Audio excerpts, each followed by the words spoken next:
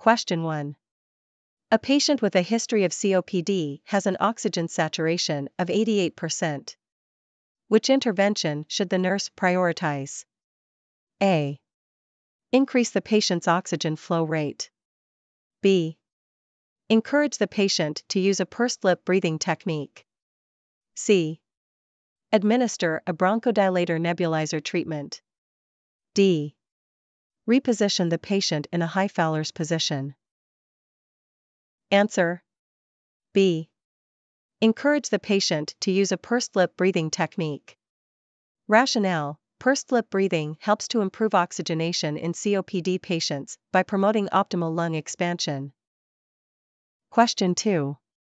A patient has been diagnosed with pleural effusion. Which symptom is most characteristic of this condition? A. Wheezing. B. Hemoptysis. C. Dyspnea. D. Cyanosis. Answer C. Dyspnea. Rationale Pleural effusion refers to fluid buildup in the pleural space. This can cause difficulty in breathing or dyspnea. Question 3. Which instruction is important for a patient receiving a TB skin test? A. Avoid scratching the test site. B. Return in 48 to 72 hours for reading. C. Keep the site covered with a bandage. D. Wash the site with soap and water. Answer B. Return in 48 to 72 hours for reading. Rationale The results of a TB skin test should be read within 48 to 72 hours, but preferably around 48 hours after administration. Question 4. Which of the following is a late sign of hypoxia? A. Tachycardia. B. Cyanosis. C. Restlessness. D. Dyspnea. Answer B. Cyanosis. Rationale Cyanosis is a late sign of hypoxia. Early signs include restlessness, tachycardia, and dyspnea. Question 5. A patient is scheduled for a thoracentesis. In which position should the nurse place the patient? A. Lying flat on the back. B. Sitting upright and leaning forward. C. In Trendelenburg position. D. In left lateral decubitus position. Answer B. Sitting upright and leaning forward. Rationale this position allows for the best access to the pleural space and minimizes risk of injury to lung tissue. Question 6. For which patient would the nurse anticipate administering a bronchodilator? A. A patient with a pneumothorax. B. A patient with a pulmonary embolism. C. A patient with asthma. D. A patient with pleural effusion. Answer C. A patient with asthma. Rationale Bronchodilators are primarily used for conditions like asthma where there is bronchoconstriction. Question 7. A nurse assesses the respiratory rate of an adult patient and counts 28 breaths per minute. The nurse should interpret this as A. Normal. B. Bradypnea. C. Tachypnea. D. Hyperpnea. Answer C. Tachypnea. Rationale A respiratory rate above 20 breaths per minute in adults is considered tachypnea. Question 8. Which condition can result from a long term deficiency in alpha 1 antitrypsin? A. Asthma. B bronchitis. C. Emphysema. D. Lung cancer. Answer C. Emphysema. Rationale Alpha 1 antitrypsin deficiency can lead to emphysema, as this protein protects the lungs from neutrophil elastase. Question 9. A nurse is teaching a patient with chronic bronchitis about the importance of fluid intake. What rationale should the nurse include in the teaching? A. Increased fluids can help thin secretions for easier expectoration. B. Fluids will help decrease your cough reflex. C. Drinking more fluids will reduce your risk of pneumonia. D. Fluids will prevent dehydration from frequent coughing. Answer A. Increased fluids can help thin secretions for easier expectoration. Rationale Increased fluid intake can help to thin mucus in the bronchi, making it easier to cough up. Question 10. A nurse is teaching a patient about the proper use of a metered dose inhaler. Which statement by the patient indicates a need for further teaching? A. I will shake the inhaler before use.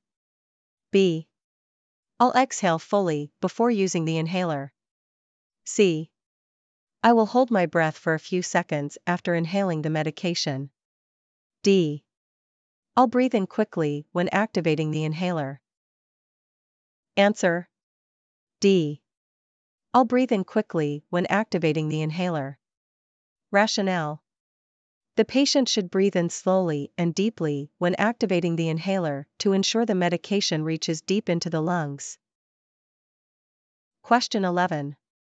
Which finding would be of most concern to a nurse assessing a patient 24 hours after a lobectomy? A. Slight bloody drainage from the chest tube. B. A decrease in breath sounds on the affected side. C. A temperature of 99.5 degrees Fahrenheit 37.5 degrees Celsius. D. Pain at the incision site rated 6 on a scale of 10. Answer B. A decrease in breath sounds on the affected side. Rationale A decrease in breath sounds might indicate a complication such as atelectasis, pleural effusion, or pneumothorax. Question 12. A nurse is providing discharge teaching for a patient who had a spontaneous pneumothorax. Which statement by the patient indicates understanding? A. I should avoid flying for at least a month. B. I can resume smoking in small amounts after a week. C. I should expect to feel severe pain for several days. D. It's safe for me to start weightlifting right away. Answer A. I should avoid flying for at least a month. Rationale Changes in atmospheric pressure during flight can exacerbate or cause recurrence of a pneumothorax. Question 13. Which action is most crucial for a nurse to take when suctioning a tracheostomy? A. Suction for a maximum of 20 seconds. B. Preoxygenate the patient with 100% oxygen. C. Suction while inserting and removing the catheter. D. Apply suction only when withdrawing the catheter. Answer D. Apply suction only when withdrawing the catheter. Rationale Suction should be applied only when withdrawing the catheter to prevent trauma to the mucosal lining. Question 14. A patient with tuberculosis asks the nurse how long they need to be on medication. The nurse should reply A. For a week.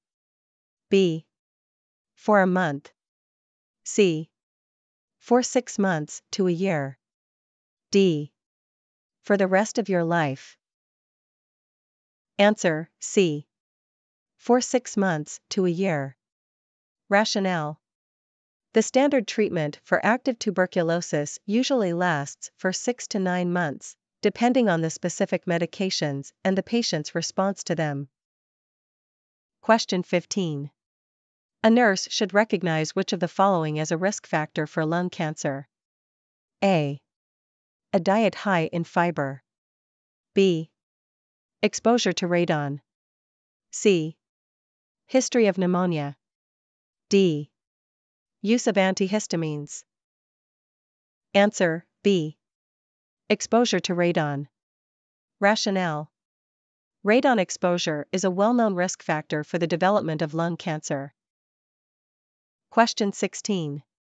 A patient presents to the ER with sudden onset of sharp, stabbing chest pain that worsens with deep breathing. What condition should the nurse suspect? A. Asthma.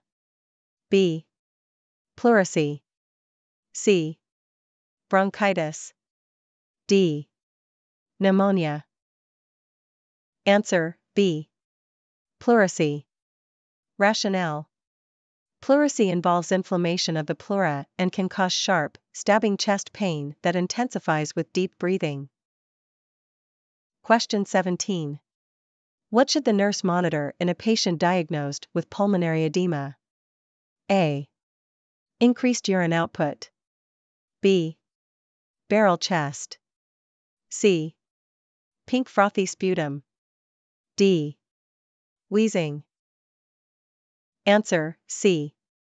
Pink frothy sputum.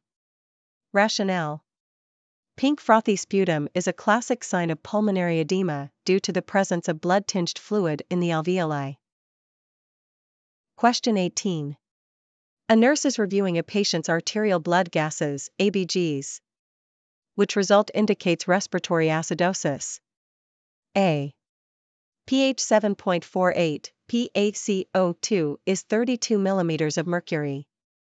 B. pH 7.30, PaCO2 is 50 mm of mercury. C. pH 7.44, PaCO2 is 40 mm of mercury. D. pH 7.50, PaCO2 is 28 mm of mercury. Answer B.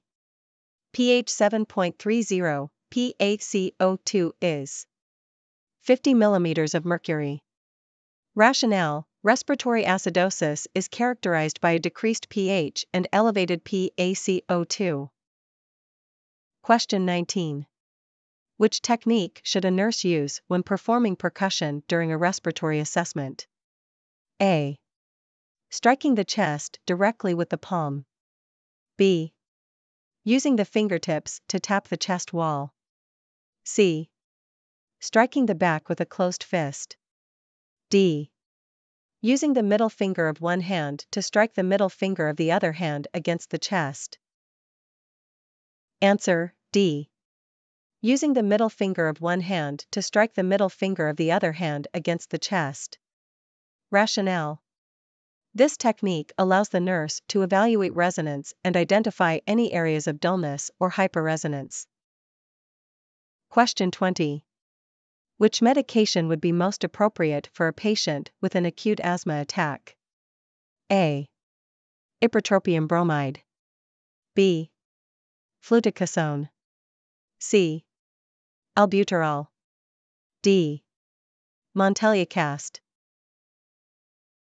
Answer C. Albuterol. Rationale Albuterol is a short acting beta agonist and provides rapid bronchodilation, making it appropriate for acute asthma exacerbations. Question 21. What recommendation should a nurse give to a patient with COPD to improve their nutritional status? A. Consume large meals three times a day. B. Increase your intake of carbohydrates. C. Eat small, frequent meals throughout the day. D. Limit fluid intake to reduce the sensation of fullness. Answer C. Eat small, frequent meals throughout the day. Rationale Small, frequent meals can prevent early satiety and reduce the effort required for breathing during meal times for COPD patients. Question 22. In a patient with suspected pulmonary embolism, which diagnostic test should the nurse anticipate? A. Bronchoscopy. B. Chest x ray. C. Pulmonary function tests. D. CT pulmonary angiography. Answer D. CT pulmonary angiography. Rationale CT pulmonary angiography is the gold standard for diagnosing pulmonary embolism. Question 23. Which instruction should a nurse emphasize to a patient who recently had a tonsillectomy? A. Gargle with warm salt water. B. Drink hot beverages to soothe your throat. C. Avoid drinking through straws. D. Eat spicy foods to stimulate healing. Answer C. Avoid drinking through straws. Rationale Using a straw can cause injury to the surgical site and increase the risk of bleeding. Question 24. A nurse is caring for a patient with atelectasis. What intervention would be appropriate? A. Encourage the use of incentive spirometry. B. Increase fluid intake to thin secretions. C. Administer cough suppressants regularly. D. Initiate bed rest and limit activity. Answer A. Encourage the use of incentive spirometry. Rationale Incentive spirometry can help re expand the alveoli and improve lung function. Question 25. When assessing a patient with a history of smoking, the nurse hears a low pitched, rumbling sound on expiration. How should the nurse document this finding? A. Wheeze. B. Crackles. C. Rhonchi. D. Stridor. Answer C. Rhonchi. Rationale Rhonchi are low pitched, rumbling sounds that are often associated with mucus in the bronchial airways. Visit nursestudy.net for more nursing practice exams, care plans, and study guides.